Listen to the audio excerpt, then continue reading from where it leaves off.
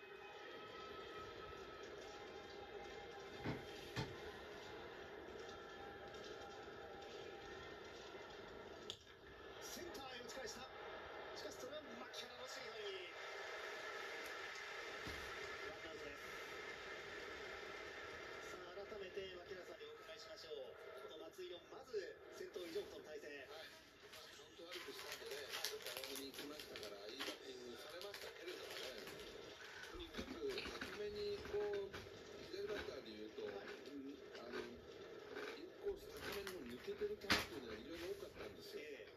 ちょっとその辺は改善されてるんでね、はい。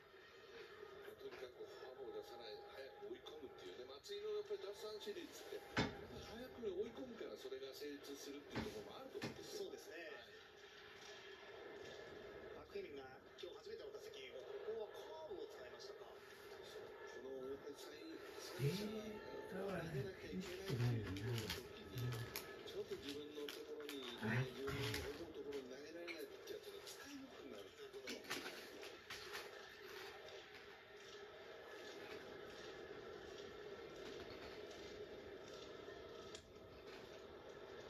この三振率の高さというところでいうと松井裕樹は、パ・リーグでも全体の中でもトップでしたね、これ。2022年が14.46です。から9イニング投げたら新井さん14以上の三振を奪うという計算なんですね。すごい三振率ですね。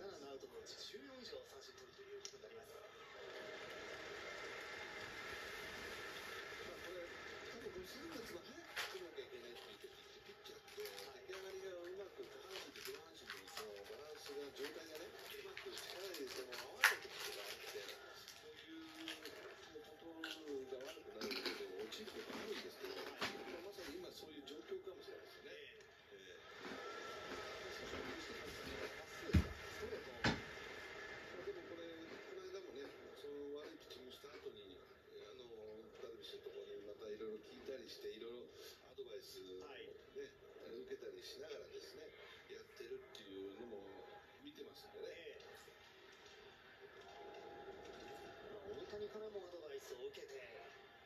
修正もしてきています。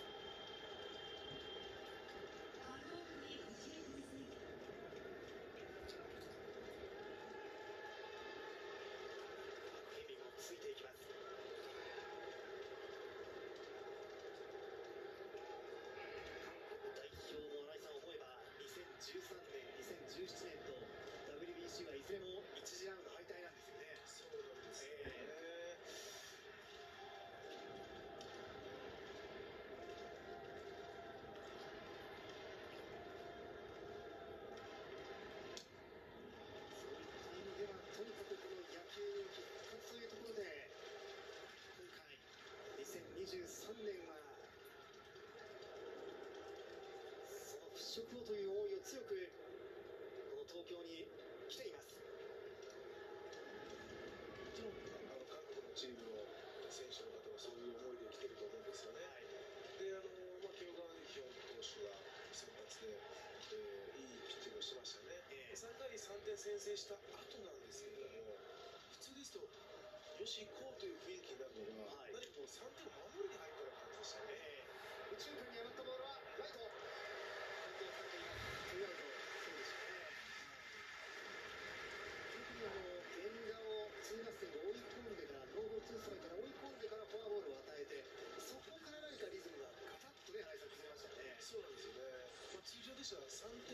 定してるのでどんどんこうバッター集中してそれまで調子も良かったですしアウトを重ねていくべきところではあるんですけどな